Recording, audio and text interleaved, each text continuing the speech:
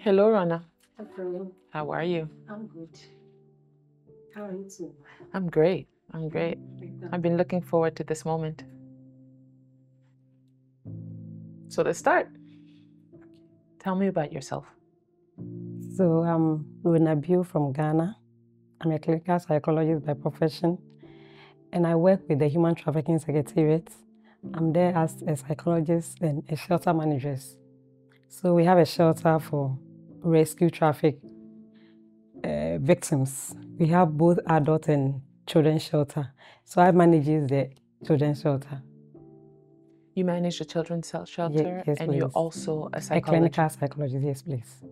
So you provide therapy Psychosocial, exactly. for all of the children. for all the children. So it depends. So we have um, social workers who work with them. They do counseling for them as well. So if they identify that there are children who have some issues that is beyond them as uh, social workers, then it's being referred to me.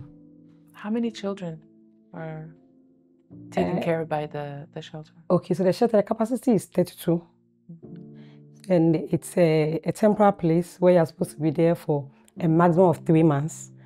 But most of the time, because of delays at the court system, some can stay there for six months, sometimes eight months, and over a year. So we have two, one for adults and one for children. That's government owned. But we also have some NGOs who also run similar shelters. And is there enough capacity for the need? We don't have enough for now, but that's what we have. We are managing because that's what the government can provide for now. We are in the process of procuring another one, which they've started with the renovation in a different region. So what I'm I'm running is at the uh, the capital city, and then we'll be able to uh, re, uh, re, refurbish another one at a different region. So we are hoping that we can get shelters in all the 16 regions that we have in the country. As a clinical psychologist, how would you assess the state of the mental health of children that are referred to the shelter? How do they arrive? So when they come, usually the police, immigration, or NGOs brings them to the shelter. So it depends on who brings them. When they come, what we do is we first do needs assessment for them. Most in most cases, the day that they arrive, we are supposed to organize for them to be sent to the hospitals for medical screening. Then after that, we do needs assessments. They come with no dress on. Some they are not wearing any slippers. So we are supposed to provide all those basic necessities for them. So after the needs assessments, they are being welcomed to the shelter, given something to eat, and being shown to their place to go and have a rest.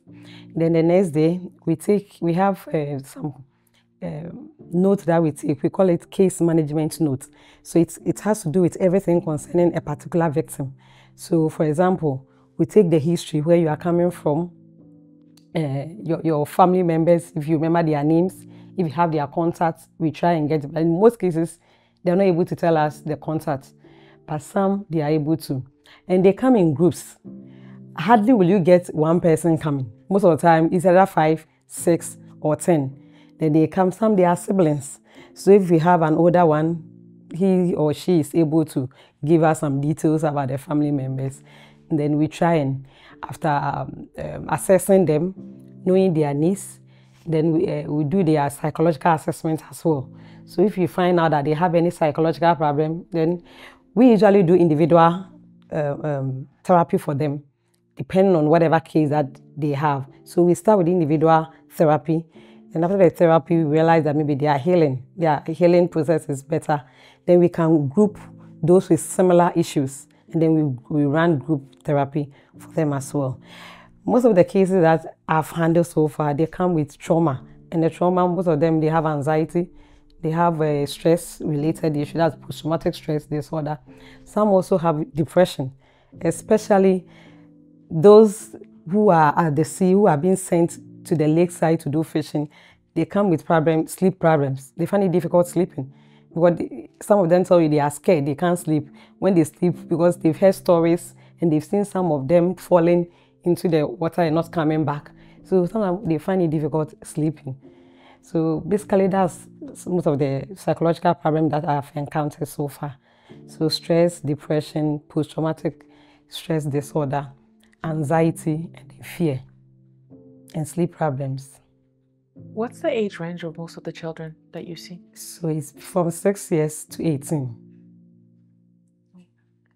And most of the time, who are the perpetrators? The perpetrators can be anybody. But in most cases, it's uh, more or less like a family related. They'll tell you, I know this person is my long distance kind of thing. So I gave my child to him or her to go and stay with. And then the, the alleged perpetrators, I would say alleged because sometimes if not really finished with the case. So the alleged perpetrators tell them that um, they are going to provide them education, they're going to give them the best education that they wanted, but they end up being used uh, uh, for a different purpose. So it can be anybody, a family member, it can even be the parents themselves. Because there's been cases that parents were involved. There are those who gave their children out to be used as whatever that they were using them for because they couldn't feed them. There are so many children on them, they've given birth to more than they can cater for. So when there are more on them, the best thing is to give some out. If you come and tell them, I want to take care of your child, because the burden on them is too much, they'll quickly just give you out for you to go and take care of the kid. But they don't know whether it is really what they claimed we were going to use them for, it's what they're using them for. So the perpetrator can be anybody, like I said. How long have you been at the shelter? So I've been working with the secretariat for the, the past six years. So that's where I've been. Actually, it's a home, so that's why I, I, I live as well. I'm the Oh, manager, so I'm supposed to be there 24 7. Yes. So you live with the I, children? I live with the children. Of course, I have my own apartment anyway, but I'm It's on the, the same compound. compound. Yes. So sometimes you'll be sleeping and they'll be knocking at your door. It's not easy. This work is not easy.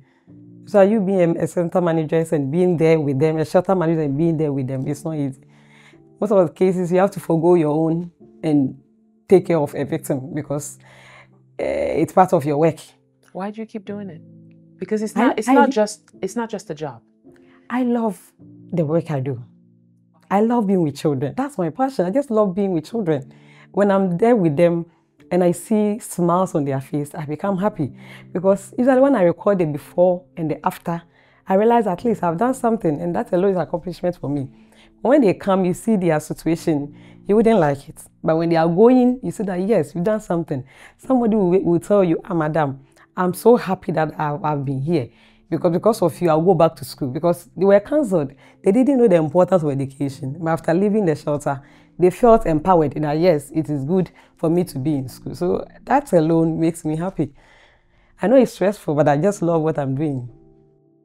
So Rona, can you tell me of a story that um, of an engagement, uh, a particular relationship, a particular moment where um, either the joy or the challenge of, of living in the shelter, living with these children, um, and being there every day sort of hit home for you?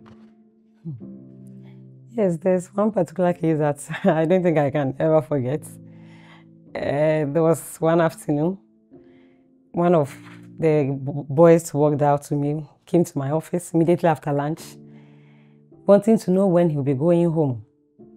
This boy I've worked with, he's been in the shelter for more than three months. Because I remember initially I said the maximum is three months, but because of call delays, sometimes it can extend to that. So he's been there for more than three months. He wanted to know when he'll be going home. After telling him that um, it will take a while because he knows the court, the case in court, it will take a while, so you should exercise patience. He got so angry. He got up and told the madam, this case, I'm tired. Madam, we've been up and down with this case. Today we'll go to court, agenda. Tomorrow this. The next time they'll tell you, madam, don't bring the victim again because the, the, the judge is not around. So we have to hold on. So this boy gave me a warning that if nothing is being done about it, then he would deal with me. Like he threatened me actually. And looking at the boy standing there, looking at my height, I could see, yes, if he really wants to do something to me, he can. So he just walked out after saying whatever he wanted to say. He walked out. So that's one of the cases. There are so many instances. There was one particular one. I think I remember saying earlier that sometimes you have to forego your own and take care of a, a, a survivor at the shelter. There was one who came, but he was ready to go. Fortunately, he was repeated, but he was still ready to go. He has that zeal to go back to school and he was placed back to the school system. So we do follow up. When we go, when we read together, we don't leave them like that. We go back for a follow up, check up how he's doing, and then if we need to help them, again, not financially because it's done once. I have to be specific because eh, we don't have that much fund. So when we Absolutely. give you, it's once. But we monitor at least if the child needs something in school, we can try and get that one for the child. But setting up the family is done once. Is that something that you're proud of? I am. I've been able to help somebody to become to, to who is likely to become somebody in future. Because right now I can't say to become. He's likely to become somebody in future because you know education is everything. Absolutely. education, as they say, is the key to success.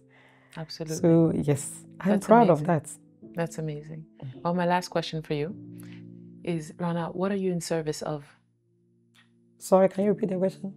What are you in service of? What am I in service of? Um, I don't know if I understand your question correctly, but I'm providing help for the vulnerable. I'm trying to make them a better person than they used to be when they were with their alleged traffickers. I want to help them overcome the trauma that they might have experienced with their alleged trafficker to put them in a state where they will be able to do things for themselves, stand up for them, so they'll be empowered so that they will not end up being re-trafficked again. So that's my work. Thank you. You're welcome. This is perfect.